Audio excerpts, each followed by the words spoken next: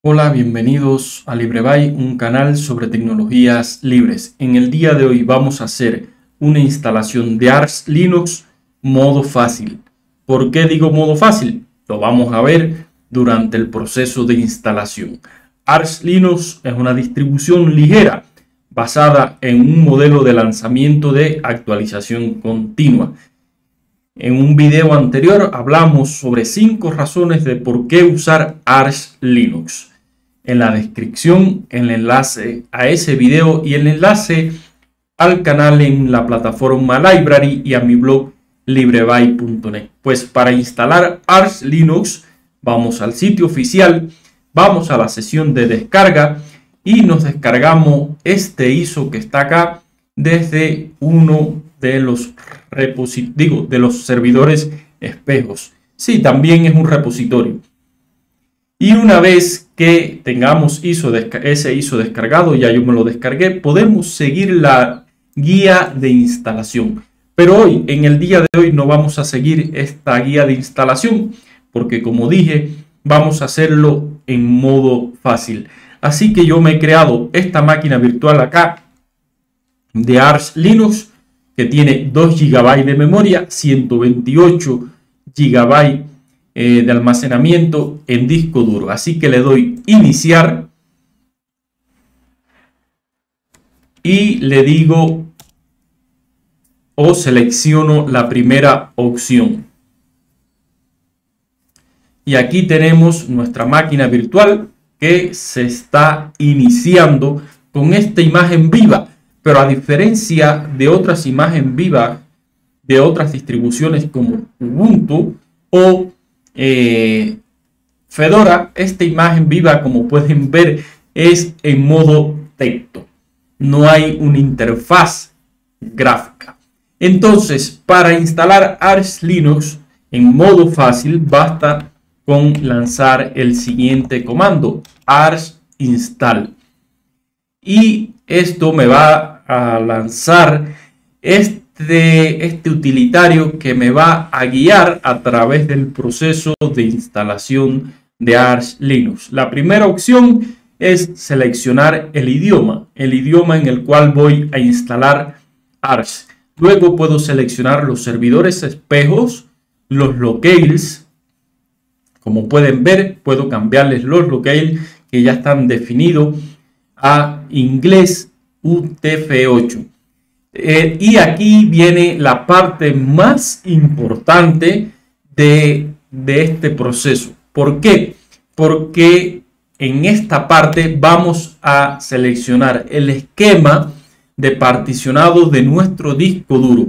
Y en este caso yo voy a seleccionar la primera opción. Por eso es en modo fácil. Voy a dejar que Ars me trate de adivinar el mejor esquema de particionado. Simplemente le doy Enter, selecciono el disco duro que deseo particionar.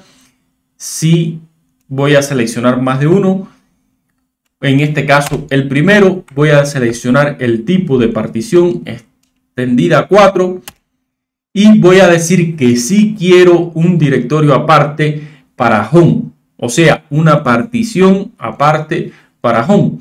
En las computadoras de escritorios, Home es donde eh, se van a almacenar todos los documentos de los usuarios.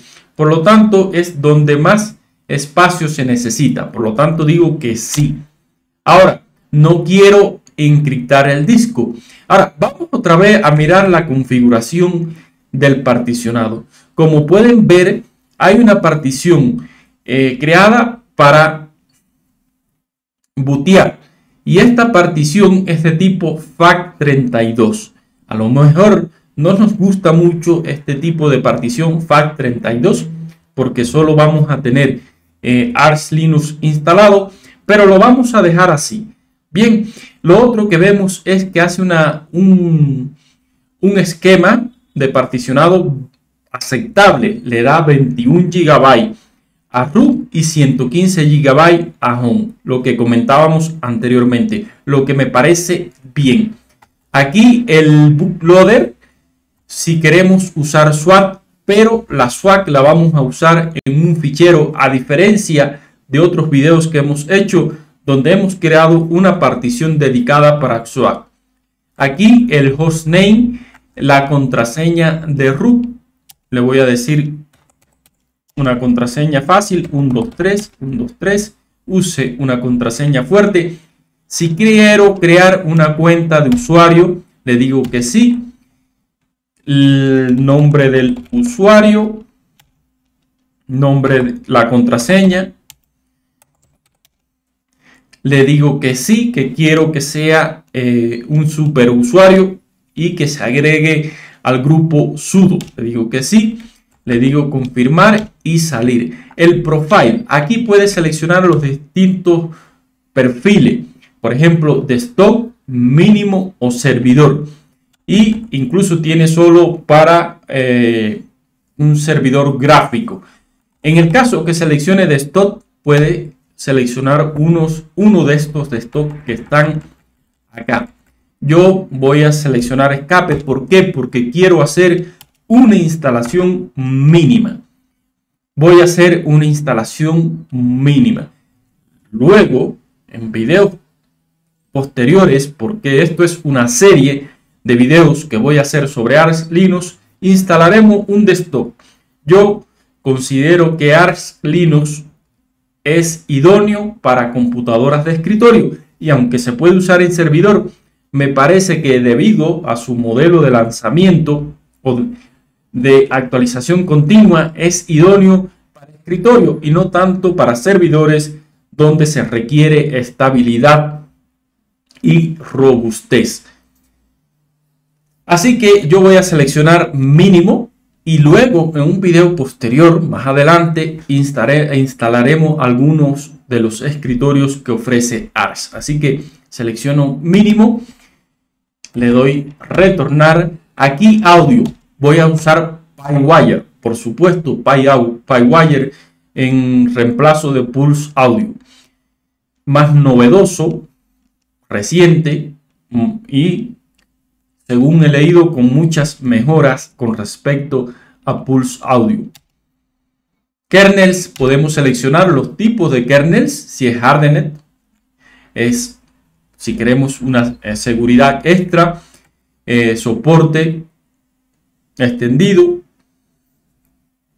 Zen, que es para jugadores, creo que está optimizado para jugadores. Así que yo dejo esta opción por defecto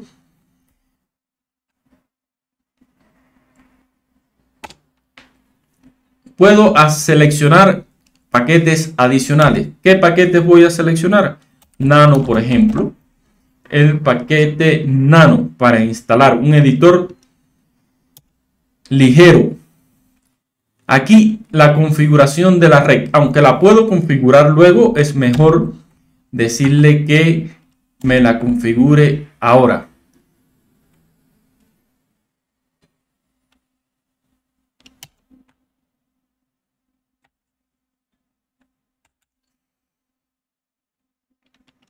Manual Configuration, agrego una interfaz, agrego esta interfaz y voy a decir que use DHCP. Confirmo UTC, aquí puede seleccionar la región, la zona horaria. Yo lo voy a dejar en UTC, usted seleccione la que se ajuste a su región le dejo esta opción como verdadera y ahora voy a instalar. Le presiono Enter y comienza el proceso de instalación que es rápido.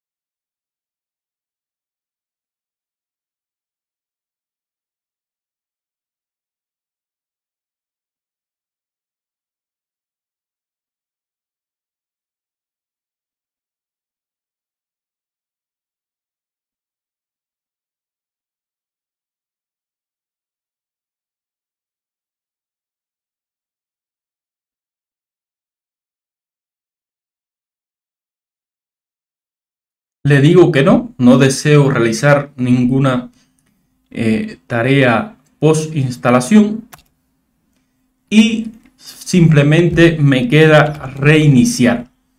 En este caso voy a apagar. ¿Por qué voy a apagar primero?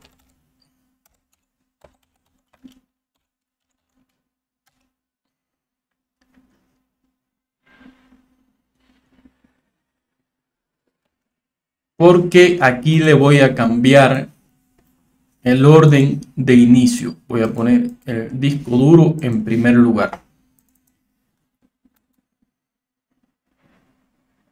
Y aquí ya tenemos instalado Ars Linux. Seleccionamos la primera opción, el login.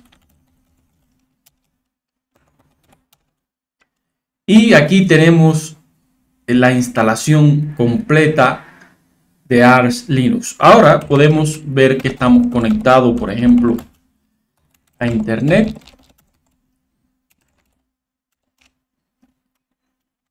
Como pueden ver, y puedo ejecutar un pacman "-s para actualizar el sistema. Como puede ver, el sistema está actualizado. Vamos a ver la versión del kernel 6.5.8, actualiz actualizadísima, muy actual.